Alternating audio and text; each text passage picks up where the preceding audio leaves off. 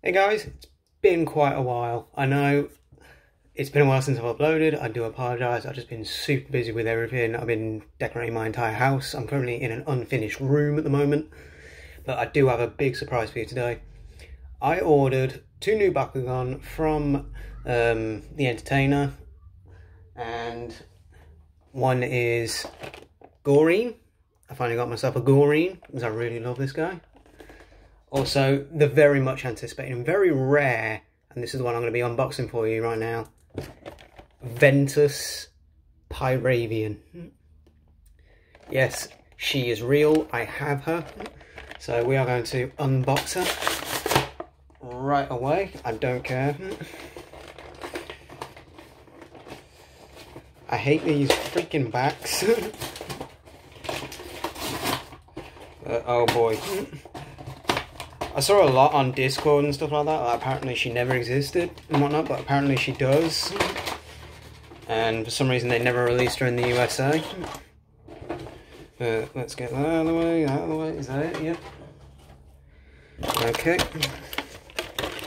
So, let's just get everything out real quick and then we'll dive deep into. Okay. Just going to get my scissors real handy so I don't damage anything.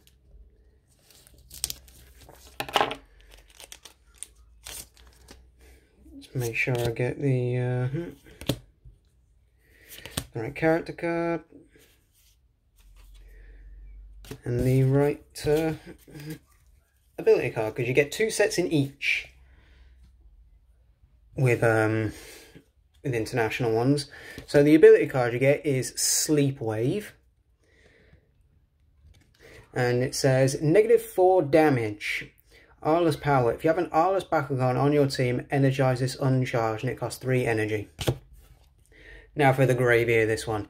Pyravian Ultra in Ventus. She is a 600B and 3 damage. Uh, underdog.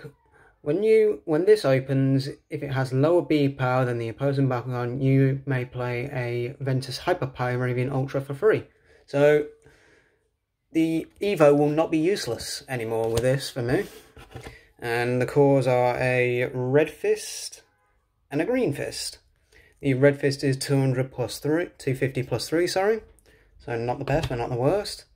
And the Green Fist is a plus 100 and plus 3 damage for Ventus and Chaos Bakugan. But now let's get what you guys came for.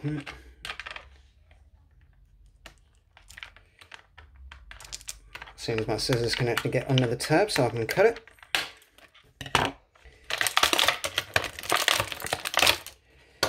There she is. Ventus Pyravian Ultra. And yes, I'm going to slightly refer to her as Skyress because she's basically a representation of Skyress from the original series.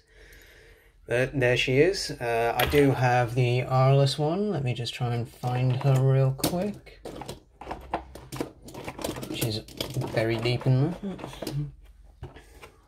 So here we have the Aurelus version of Pyravian, the original, her natural colour set. And I gotta say, I think I do prefer the Ventus one. I, I love the paint scheme on the Ventus more than I do the uh, the Aurelus. There you go. Let's get her in ball form, see what she looks like there.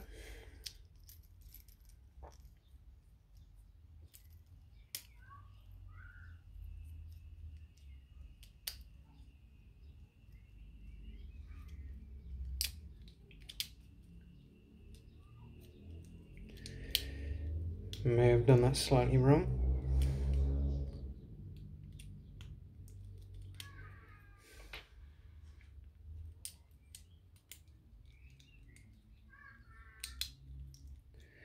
And there we go. There she is, basically in ball form.